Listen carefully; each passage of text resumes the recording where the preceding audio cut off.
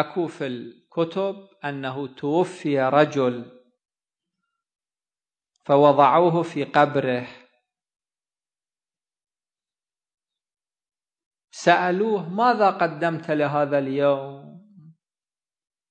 قال كذا. قالوا مو مقبول. قال كذا. قالوا كان هذا العمل مشوبا. كلما عدد عملا كان فيه إشكال.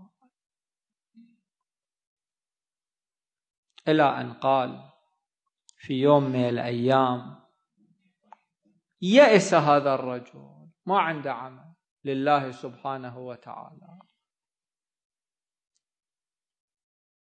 قال الله سبحانه وتعالى ولكني قد غفرت لك. أتعلم لماذا؟ قال لأنك مررت ذات يوم في الشتاء. إحنا الحمد لله أكثرنا عندنا وسائل لكن كثير من الناس ما عندهم وسائل. كثير من الناس يرجفون في ليالي الشتاء من الليل إلى الصباح. هؤلاء مو بشر مثلنا. هؤلاء مو إخواننا. كثير من الناس يموتون من البرد. أفراد يموتون من البرد. وهم بشر مثلنا. الله لا يسألنا عن هؤلاء. كثير من الناس الآن هم ذهبوا إلى العراق وزوجاتهم بقين في إيران.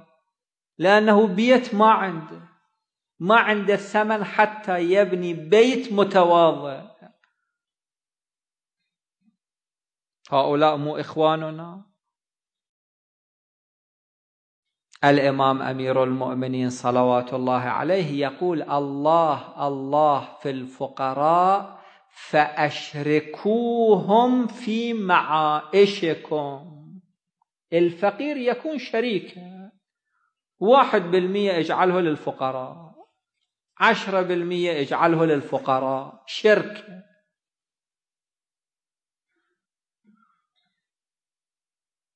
قال لأنك مررت في يوم بارد شديد البرودة أو بارد. فرأيت هرة من شدة البرد تلتجئ إلى الجدار. فرحمتها. حتى الرحمة للحيوان محبوبة عند الله. فأخذت هذه الهرة ووضعتها تحت معطفك وأدفأتها. إني غفرت لك ببركة هذا العمل.